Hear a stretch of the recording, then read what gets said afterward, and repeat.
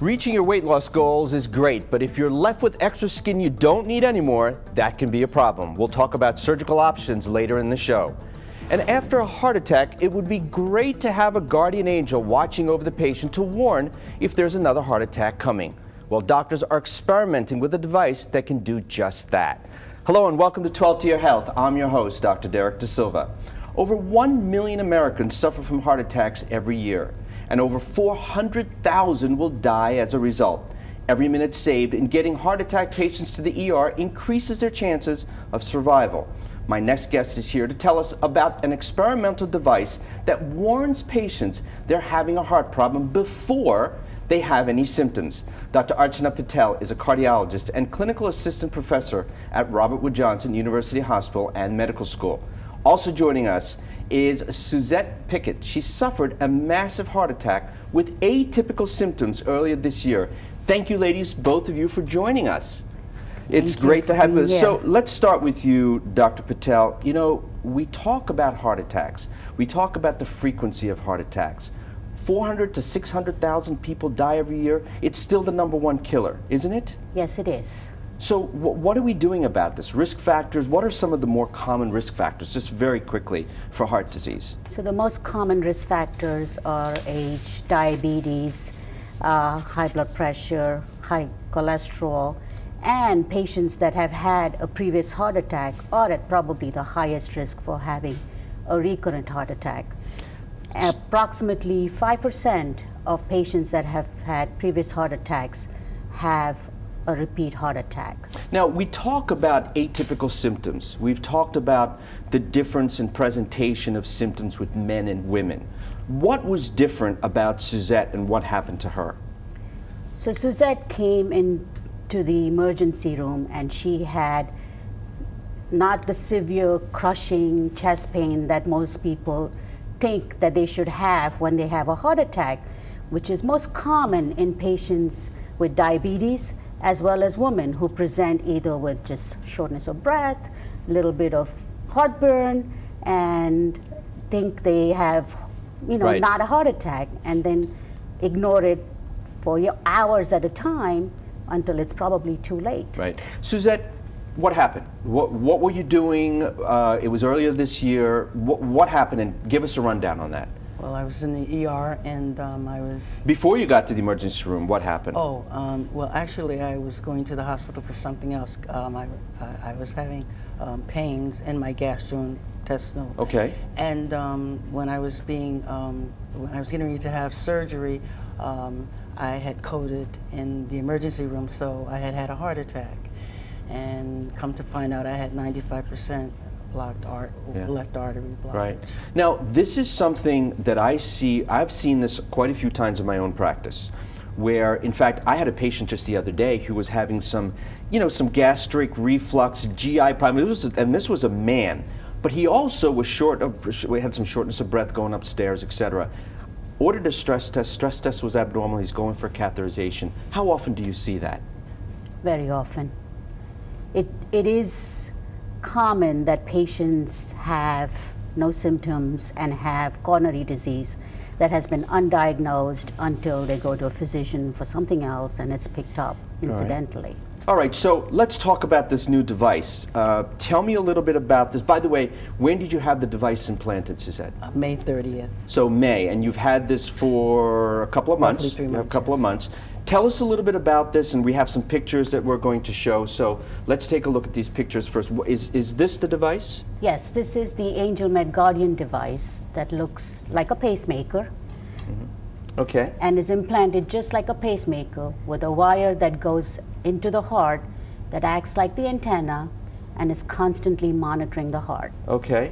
And, and this is hooked up to an external device that is the warning device for the patient so yes. that when the device picks up abnormal signals, it will alert the patient in three ways. Okay. By vibrating within the chest wall. So the device will vibrate within the chest wall. So this device yes. will vibrate in the chest wall. Okay. Yes. And then also communicate with this external device, which will start to beep. Go ahead. You, as well as flash the alarm. There's an alarm on there? Yes. Okay. So that would go off. Just like that. And they will be able to see the flashing red light also, That- you know- which will say, go to the emergency room. but but tell me what's going on there that the person that this thing is actually working. Well, let, let's go through this diagram. You can shut that thing off. Yes. Uh, let's go through this uh, diagram right here. What, what's happening here? So what's happening is that the device is implanted within the chest wall, just Right. like a pacemaker. The wire goes through a vein that goes to the bottom of the heart Uh-huh. and is constantly monitoring, monitoring the heart signals 24 hours a day, seven days a week. Mm-hmm. If it sees any changes within the s- signal that is in the heart, it will automatically record it and transmit it to this external device so that the patient is warned to say something is not right, go to the emergency So room. what it's picking up then is it an abnormal rhythm or is it picking up something more than that? It's picking up changes in the ST segments, which is Right.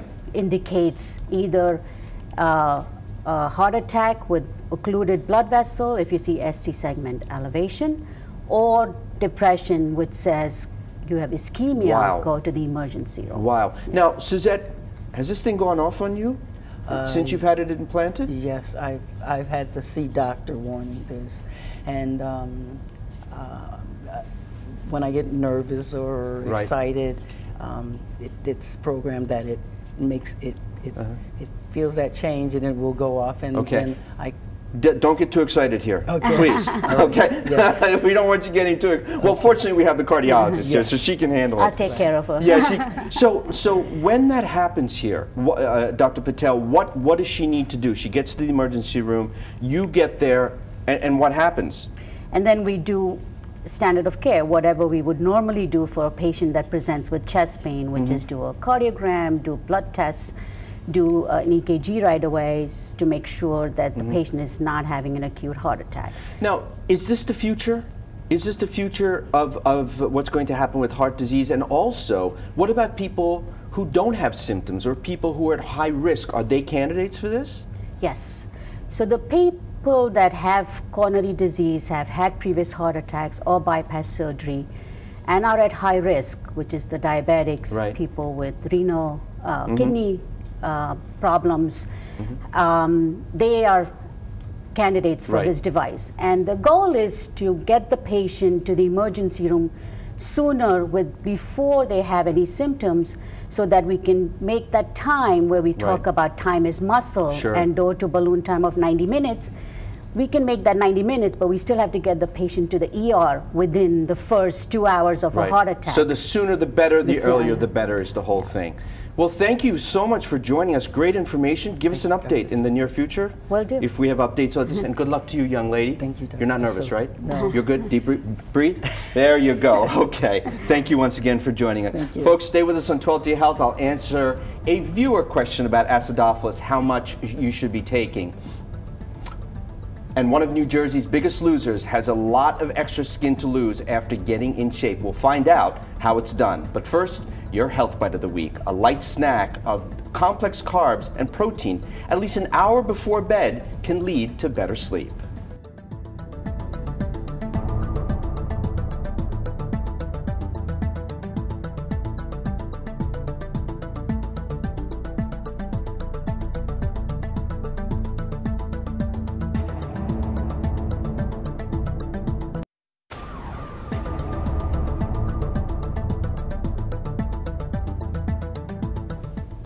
Hello and welcome to 12 to Your Health. I'm your host, Dr. Derek De Silva. You know, it's a huge accomplishment when an obese person can lose 100 pounds and get down to a healthy weight. But then that person has another problem to deal with, and that is excess skin. Excess skin can cause discomfort, irritation, and is actually added weight that can only be removed through surgery. My next guest performed plastic surgery on Amanda Arlauskas from season 8 of The Biggest Loser after she lost 100 pounds. Amanda's looking great in a bikini now, thanks to Dr. Brian Glatt. Dr. Glatt is a board certified plastic surgeon who practices at Mar- Morristown Medical Center. Dr. Glatt, welcome back to the program. Well, thank you for having me. My pleasure. So, uh, when we when we talk about this type of surgery, is there a magic number of weight loss that people have to have in order for you to do these cosmetic procedures? That's a great question, and a lot of people ask that. There's really no magic number. It's very much a relative thing. It really depends on what people come in with and how they present to me. Um, people having this kind of surgery sometimes have a weight loss in the order of 60 to 70 pounds, but I've also operated on people that have a weight loss on the order of 200 pounds. So it really depends on the physical manifestation of their weight loss and their and their uh, process and their um, you know how they present to me sure. at the time. Now, I, I also mentioned in there that there are issues with discomfort, irritation, infection yes. is another one that we didn't talk about because of of the excess skin. Just talk to us about that and what people can do if they do have that? I think one of the biggest problems with it, the medical, the biggest medical problems with it, is something we called intertrigo, which is skin, severe skin irritation that occurs in the folds of the skin. With this kind of weight loss, uh, folds of skin develop, and that skin is not exposed to the air, or the outside world. It gets kind of damp, it gets kind mm -hmm. of mm-hmm. nasty, and can cause true infectious complications. Yeah, we have some pictures. Can you just maybe just go through sure. these with us Happy as to. we as we present them? Uh, we have some before and after. This is the go ahead. Before this is after. this is Amanda. Um, after her uh, stint on the Biggest Loser, where she uh, was a third finalist. Uh, her season. She was a big fan favorite too. Anyone that's met her could understand why. She lost about 110 pounds, I believe, at that point. And one thing that Amanda is very quick to point out is just how much the spandex clothing covers up yeah. the folds of skin. Right. And, and this is Amanda when she first presented to me uh, approximately one year ago. And that's a partial picture, obviously, uh, for the sake of television. Mm -hmm. But you can see the folds of skin developing underneath the bikini, even right. around the belly button, how right. much wow. the folds of skin um, really occur. Uh-huh. And then this is, wow. And this is Amanda. Thank you. That's good work. Thank you very much. This is Amanda post-operatively, and this is her post-operative only three months, so she actually had a lot more healing to go since this point. You can see her scar still a teeny bit red around her belly button, and the nice thing about this surgery is we can keep the scar very low, well underneath, well beyond uh, where the underwear typically will right, cover it up. Right. So she does have a scar that wraps all the way around her body, and there she is trying on her very first bikini, and Amanda posted that picture to Facebook on her own uh, without any uh, foresight by, uh, by, without letting us know at all mm -hmm. And it was a thrill to see it. Wow. It really was. That is amazing. Now, you know, when, when we look at stuff like this, is there, is there a, is there a time when the surgery should be done, the cosmetic procedure should be done? That's another great question, and people ask about that all the time. One of the things that I like to ask patients is when they come in having had a lot of weight loss, the first thing I ask them is, well, is your weight stable? Mm -hmm. And if it has been stable, how long has it been stable for? I personally like to see their weight stable somewhere in the order of six months, just to know that they don't necessarily have more weight to lose. Or on the other hand, if they're not going to yo-yo back up. Right. It is a mindset, it is a lifestyle change, and Amanda would be the first one to tell you that. Well, that was my next question to you is what if they regain the weight? What happens? It's a problem. Um, after surgery, you can regain weight. That's one of the things I do talk to patients about. So it's really up to me to be very selective about who gets this surgery. Mm -hmm. You certainly don't want to put someone in the position to take the risk and the cost and the time and everything else that's involved with surgery just to have them go back and gain a lot of weight. Right. So there's psychological evaluations that sometimes occur as well, not in everybody, but some for some of the more severe cases. But it's very important that people do maintain an, a uh, the healthy weight uh, preoperatively for a certain period of time.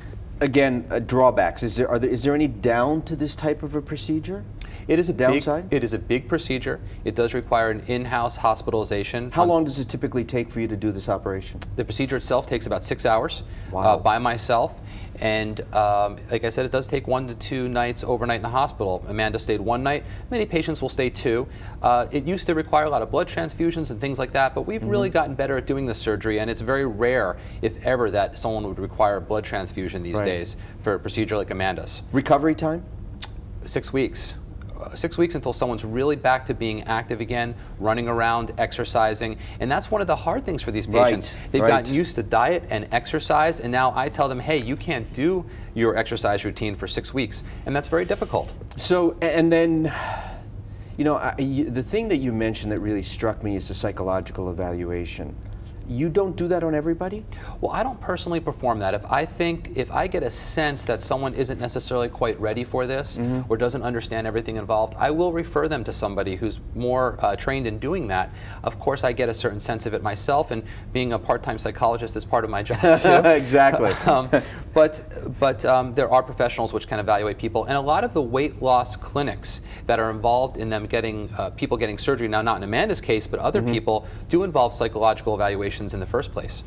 Big question here. Insurance okay. issue, insurance coverage. Do they, don't they? Sometimes yes, most of the time no. Always very difficult regardless. Uh, in cases of true intertrigo skin irritation, uh, documentation that you just can't lose more weight because of the physical limitations, right. those things are going to stand a very good chance. Someone that has lost a lot of weight, done hard work, and sometimes fortunately, sure. unfortunately doesn't have those things, it's going to be an uphill battle, but it can be done. Very good. Thank you for the eh, great information. Thank you for joining us. Always again. a pleasure. Thank you. Very good. Folks, stay with us. When we come back, I'll answer your email questions. But first, here's a look at this week's Community Health Calendar.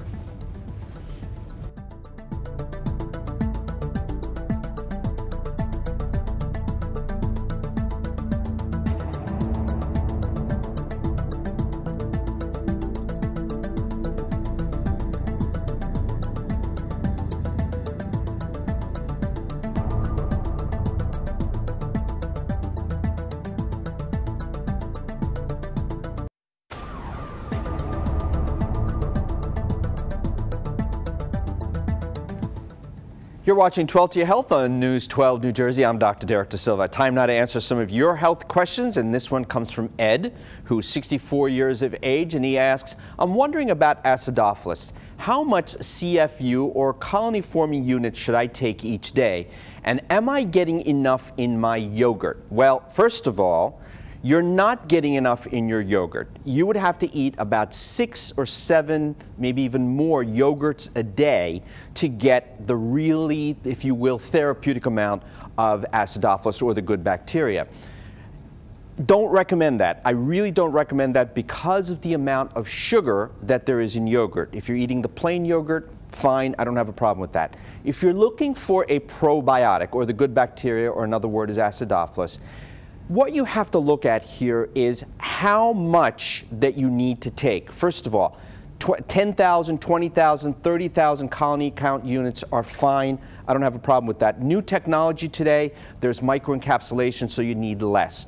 Look at the directions, look at the bottle, follow the directions on the bottle, and I think that's the best way to go. Around between 20 and 50,000 colony units is the best way to go.